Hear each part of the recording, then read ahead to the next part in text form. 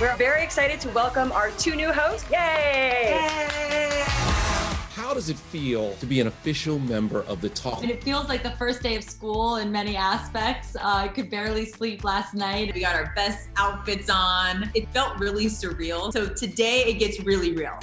Due to the pandemic surge in LA, new hosts Amanda Kloots and Elaine Welteroth spent their first day on the job from home. I think it's going to make us all raise our game on this show.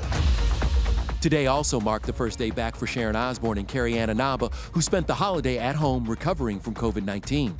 I'm feeling really fine now. I went through all the symptoms headache, eye ache, body ache. I still can't smell very much or taste very much. Yeah, me neither. I can't taste or smell. The worst part about, I think, going through COVID was the fear factor and just trying to manage the fear. Amanda, I thought of you a lot.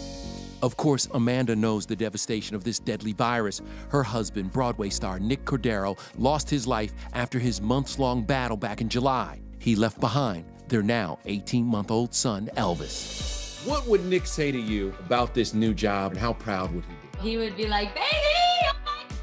Oh he was my ultimate cheerleader. I know he's right beside me today through this. Nick is there spiritually and physically. Amanda keeps his ashes close to her inside this ring. Do you have the ring on that was made I with Nick? do, yeah. Oh, wow. It's beautiful. I feel like he's with me every day, and I, I absolutely love it and cherish it, and it'll be handed down to Elvis one day.